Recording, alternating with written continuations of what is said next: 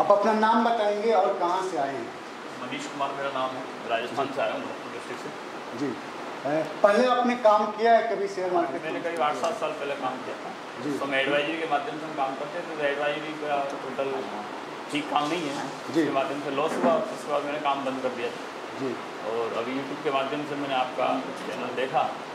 आपकी सादगी देख करके आपका तरीका काम कराने का सब समझ करके और आपके द्वारा जो ये तरीका काम सिखाया जाता है उसको देख करके मैं आपके आया था। ट्रेनिंग के बारे में क्या कहना चाहेंगे? कैसा लगा आपका?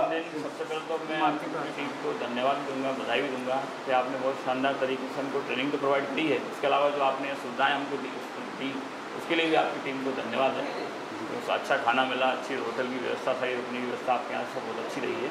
और ट्रेनिंग जो आपकी है तीन दिन की निश्चित रूप से हाँ, नए लोगों के लिए तो अच्छी है ही है। लेकिन जो पुराने लोग जिनको जानकारी नहीं है वो अच्छे तरीके से आपकी ट्रेनिंग के माध्यम से इस मार्केट में अपने आप को बढ़ा सकते हैं और इस मार्केट के माध्यम से अपना कोई एजेंडा भी सेट कर सकते हैं और अच्छी तरीके से प्रॉफिट कमा सकते हैं। जी। आप जो है राजस्थान से उन लोगों को क्या बोलना चाहेंगे?